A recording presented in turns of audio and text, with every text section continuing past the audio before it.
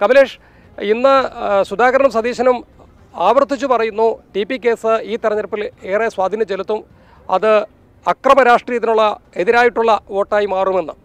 ഈ തെരഞ്ഞെടുപ്പിൽ എന്താണ് യു ഡി എഫിന്റെ ഒരു സ്ട്രാറ്റജി? ഒപ്പം തന്നെ ഈ ടി പി കേസുമായി ബന്ധപ്പെട്ട് അതിന്റെ പ്രചരണം ഏതായാലും വടകരയിലും കണ്ണൂരിലും മാത്രം പരിമിതപ്പെടുത്തുമെന്ന് തോന്നുന്നില്ല. എന്താണ് യു ഡി എഫിന്റെ ഒരു പ്ലാൻ? അനു സന്ദീപ് അത് തന്നെയാണ്. ഈ വടകരയിലും കണ്ണൂരിലും മാത്രമല്ല സംസ്ഥാനത്തുടനീളം തന്നെ ഈ ടി പി കേസിലെ ഹൈക്കോടതിയുടെ വിധി സി പി എമ്മിനെതിരെ ആയുധമാക്കാൻ തന്നെയാണ് ഇപ്പോൾ കോൺഗ്രസിന്റെ ഒരു തീരുമാനം. ലോക്സഭാ തെരഞ്ഞെടുപ്പ് അടുത്തിരിക്കെ ഒരു വീണ് കിട്ടിയ ഒരു മികച്ച ആയുധമായി തന്നെ യു ഡി എഫ് ഇതിനെ കാണുന്നു.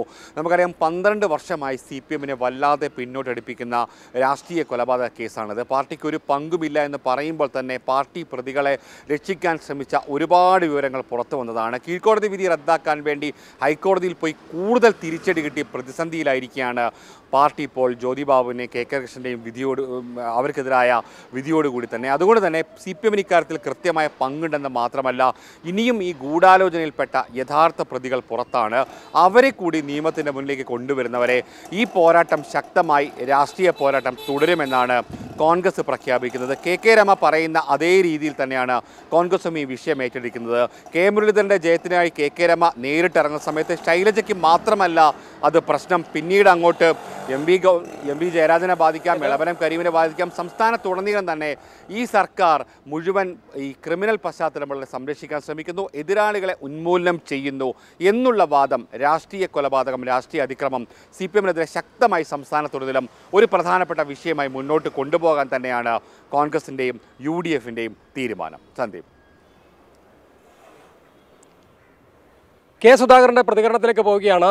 ടി പി കെ സി തെരഞ്ഞെടുപ്പിൽ ഏറെ നിർണായകം. നേരത്തെ പറഞ്ഞ കമലേഷ് പറഞ്ഞതുപോലെ തന്നെയാണ് സുധാകരൻ പറയുന്നത്. അതായത് ഈ തെരഞ്ഞെടുപ്പിനെ ഏറ്റവും സ്വാധീനിക്കുന്ന പ്രശ്നമായി ഇത് മാറുമെന്ന് പറയുന്നു സുധാകരന്റെ വാക്കുകളിലേക്ക്. ചന്ദ്രശേഖരൻ കൊലപാതകത്തിൽ നേരിട്ട് പങ്കെടുത്തവരും അതിൽ നേരിട്ട് പങ്കുള്ളവരും ശിക്ഷിക്കപ്പെട്ടെങ്കിലും ഗൂഢാലോചന നടത്തിയവർ ഇപ്പോഴും നിയമത്തിന് പുറത്താണ്. ടി പി വധക്കേസിലെ ഗൂഢാലോചനക്കേലിൽ നീതി കിട്ടുന്നത് വരെ ഞങ്ങളും പോരാടും. ഞങ്ങൾ പിറകെയുണ്ടെന്ന് ഞാൻ അവരെ ഓർമ്മിപ്പിക്കുകയാണ്. ടി പി കൊലക്കേസിൽ സി പി എമ്മിന് പങ്കില്ലെന്ന് പറഞ്ഞ് സ്വയം വെള്ളപൂശാൻ ശ്രമിച്ച ശ്രമിച്ചവർക്ക് ഹൈക്കോടതി നൽകിയ ഈ പ്രഹരത്തിന് അമ്പത്തൊന്ന് വെട്ടിന്റെ അപ്പുറത്തുള്ള കാഠിന്യം തന്നെയുണ്ട് എന്നതാണ് യാഥാർത്ഥ്യം. അമ്പത്തൊന്ന് വെട്ടിനേക്കാൾ വലുതാണ് ഇപ്പോൾ ഈ വിധിയും ഈ വിധിയുണ്ടാക്കുന്ന പ്രഹരവും എന്ന കാര്യത്തിൽ ആർക്കും തർക്കമൊന്നുമില്ല. സി പി എം ഒരു കൊലയാളി പാർട്ടിയാണെന്നും ഹൈക്കോടതി വിധി വ്യക്തമാക്കുന്നു.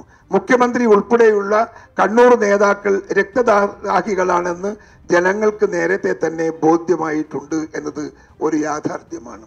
കൊടിസുനിയെ പോലുള്ള തടവുകാർ ഒരു വർഷത്തിൽ മുന്നൂറ് ദിവസം ആ ജയിലിൽ കിടക്കാറില്ല. അതിലും കുറഞ്ഞ ദിവസമേ കിടക്കാറുള്ളൂ. അത് മാത്രമല്ല കൊടിസുനിയെ പോലുള്ള ആളുകൾ എത്തിയ ജയിലിൽ അവരാണ് സൂപ്രണ്ട്. അവരാണ് ജയിൽ ഭരിക്കുന്നത്.